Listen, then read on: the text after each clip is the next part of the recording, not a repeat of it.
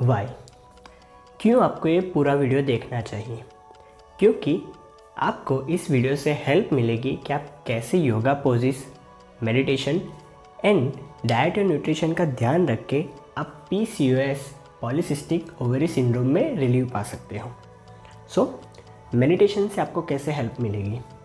Meditation करने से आपका स्ट्रेस लेवल कम होगा और आपकी बॉडी में जो हार्मोनल इम्बैलेंस हुआ है वो ठीक होगा।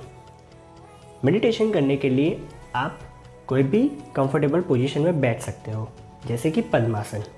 और अगर आप पद्मासन नहीं कर सकते तो आप नॉर्मल पालथी पोजीशन में बैठ के भी मेडिटेशन कर सकते हो।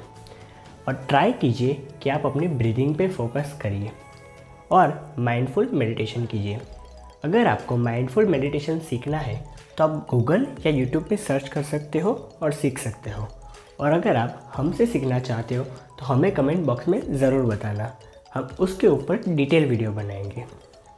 अब हम आपको कुछ योगा पोजेस सिखाएँगे, जिससे आपके पेल्विक फ्लोर के ऑर्गन को मसाज मिलेगी और वो स्टिमुलेट होंगे, जिससे वो बेटर फ़ंक्शन कर पाएँगे और आपको पी में रिलीव मिलेगा। तो चलिए शुरू करते हैं, क्योंकि योगा से सब होगा।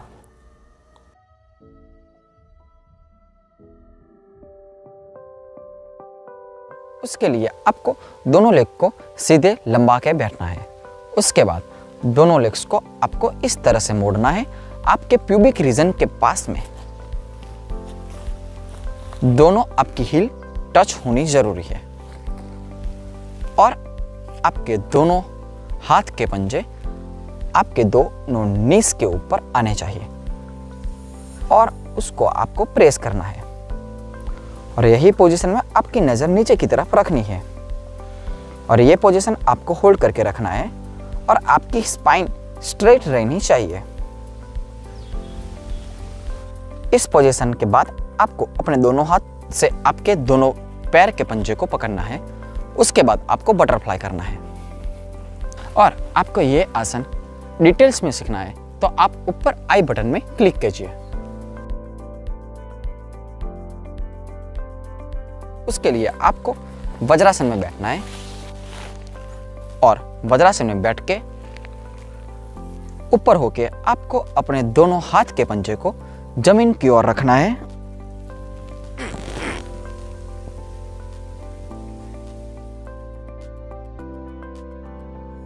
उसके लिए आपको दोनों हाथ को ऊपर ले जाना है और आपको सांस बाहर निकाल के नीचे की ओर झुकना है।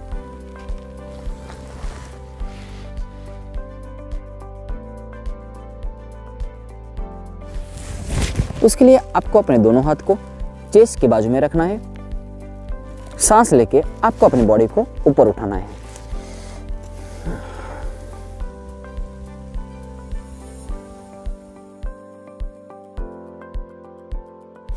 उसके लिए आपको उल्टा लेट जाना है। अपने दोनों हाथ से आपको अपने दोनों एंकल को होल्ड करना है। और सांस लेके आपको अपनी बॉडी को ऊपर की ओर लिफ्ट करना है।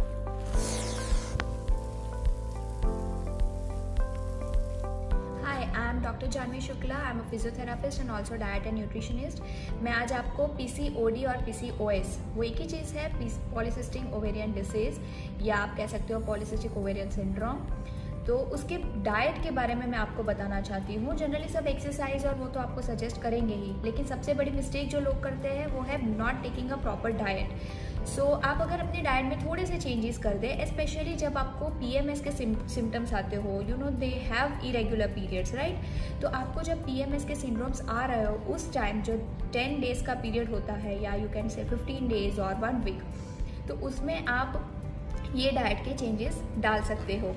तो उसमें आप सबसे पहले हम बात करेंगे पल्सेस की। पल्सेस में बहुत सारे पल्सेस होते हैं, मूंग, चना तुअर, अरहर, उड़द, फिर चौली, आप बहुत सारे पल्सेस हैं, आप उसको अपने डाइट में ऐड कीजिए। अब पल्सेस को कैसे ऐड करना है? तो जैसे आपने मूंग का कुछ लिक्विड ही बनाया है, मूंग दाल का you can what you can do is eat it with rice and curd you can have it for dinner और लंच तो राइस और कर्ड के साथ खाने से आपको जो एपेटाइट लूज़ होने की प्रॉब्लम रहती है लॉस ऑफ़ एपेटाइट बहुत ज़्यादा हो जाता है ब्लोटिंग सी फील होती है भूख लगती है, लेकिन कुछ खाया नहीं जाता। वैसा होता है तो उसके लिए आप कर सकते हो राइस और कर्ड और उसमें आप कोई भी पल्स का मैं मूंग ज़्यादा सजेस्ट करती हूँ लोगों को, क्योंकि वो जनरली सबके घर में बनता है, लेकिन आप कोई भी पल्सेस का बनाकर उसमें डाल के खाएँगे तो आपको ये लॉस ऑफ़ एपेटाइट की जो दिक्कत है, वो दूर हो सकती है।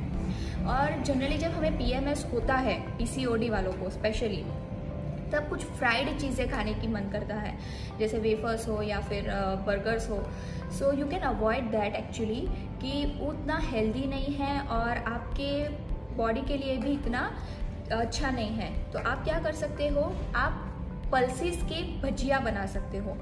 राइट, मूंग मूंग दाल की भजिया, फिर उड़द दाल की भजिया, उससे पापड़ खा सकते हो, मूंग दाल का पापड़। आपको जब भी फ्राइड चीज़ें खाना पसंद या अच्छा लगे या ऐसा लगे कि अभी कुछ फ्राइड खाने का मन कर रहा है, आप ऐसे भजिया अपने डाइट में ऐड कर सकते हो, स्नैक्स में ऐड कर सकते हो, डिनर, लंच, कभी भी कर सकते हो। उससे आपको क्या होगा, उसमें आपको सबसे ज़्यादा प्रोटीन और फाइबर मिलेगा। और वो हेल्दी भी है आपकी बॉडी के लिए और फ्राइड का फ्राइड भी हो जाएगा। उससे वेट गेन भी ज़्यादा नहीं होगा। Now this is this was about pulses अब हम नेक्स्ट अभी बात करेंगे अबाउट मिलेट्स कि आपको मतलब क्या खाना चाहिए? जैसे बाजरा है, फिर नाचनी है, ये सब आपको ज़्यादा हेल्प करेगा पीसीओडी के लिए। स्पेशली राजगिरा। राजगिरा आपको पता होगा जनरली हम फास्टिंग में खाते हैं। फास्टिंग में राजगिरा की चीज़ें बहुत बनती है, जैसे लड्डू हो, रोटी हो। तो वो आपको जो टेन डेज़ का पीरियड है, उसमें राजगिरा, नाचनी, उसकी रोटी ज़्यादा प्रिफर करनी चाहिए। उसके उसे ब्लड सर्कुलेशन भी अच्छा रहेगा और आपको जो इरिटेशन होता है इरिटेबिलिटी होती है, वो कम हो जाएगी। अभी हम बात करेंगे फ्रूट्स की एस्पेशली फ्रूट्स और वेजिटेबल्स तो बहुत नेसेसिटी होती है और यहाँ पे किसी ने मिथ्स और स्टीरियोटाइप्स बना दिया है आजकल। कि कुछ कुछ फ्रूट्स और वेजिटेबल्स नहीं खाने चाहिए। तो देखते हैं कौन सा ज़्यादा अच्छा रहेगा। फ्रूट्स में तो आप वो सीज़न के सारे फ्रूट्स खा सकते हैं। सिर्फ़ पीसीओडी के लिए नहीं, जिन लोगों को पीसीओडी हो पीएमएस हो, या फिर पीरियड्स में बहुत ज़्यादा क्रैम्पिंग्स होता हो इरेगुलर पीरियड्स हो पीसीओडी के वजह से नहीं, किसी और वजह से भी, आप लोग फ्रूट्स खाना शुरू कीजिए। दिन का एक फ्रूट कंपलसरी कीजिए और स्पेशली बनाना हमारे इंडिया के छः सुपर फ़ूड है, उसमें से एक बनाना है। Banana is a very good for your health उसे आप आज ही अपने डाइट में ऐड कर दीजिए। बन हाँ आप जो फ्राइड चीज़ है, उसमें आप बनाना की चिप्स भी खा सकते हैं। That is also very healthy for you compulsory एक बनाना पीसीओडी वालों को रोज़ खाना ही चाहिए। उसके बाद वेजिटेबल्स की बात करते हैं, जो हमारा लास्ट टॉपिक रहेगा आज के लिए।